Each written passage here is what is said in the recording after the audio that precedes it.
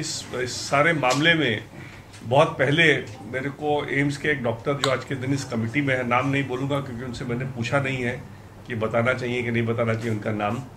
लेकिन उन्हें उन्होंने उनको मैंने फोटोग्राफ्स भेजे थे जो मीतू के खुद के खींचे हुए फ़ोटो थे जो सुशांत की बहन के खींचे हुए फ़ोटो थे।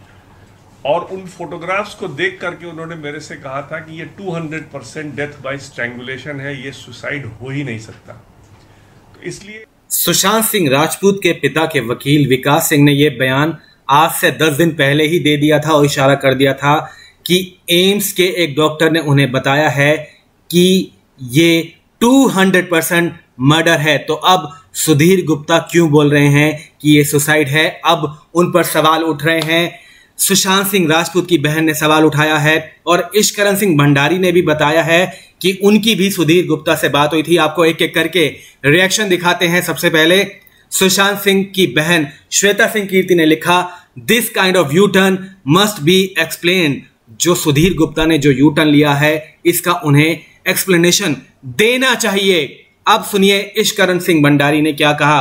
उन्होंने कहा not surprise at what Republic shot मैं हैरान नहीं हूँ कि जो कुछ भी रिपब्लिक ने दिखाया doctor Sudhir Gupta has talk to me also and had many suspicions on Mumbai autopsy Sudhir Gupta ने मुझसे भी बात की थी और बताया था कि मुंबई की अटॉप्सी रिपोर्ट में काफ़ी संदिग्ध चीज़ें हैं। Why did he change and did opposite और वो बदल क्यों गए? अब वो बिल्कुल इससे उल्टा बयान क्यों दे रहे हैं? नीड इन्वेस्टिगेशन इसकी जाँच होनी चाहिए।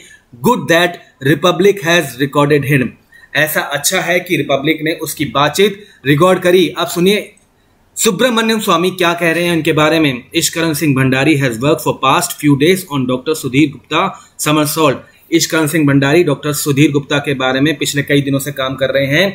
He will meet media soon वो मीडिया से मिलेंगे। इश्कर सिंह भंडारी मीडिया से बात करेंगे। Now CBI should do the an additional FIR with murder under section 302 अब सीबीआई को चाहिए कि सुशांत सिंह राजपूत मामले में एक और एफआईआर दर्ज की जाए 302 के तहत।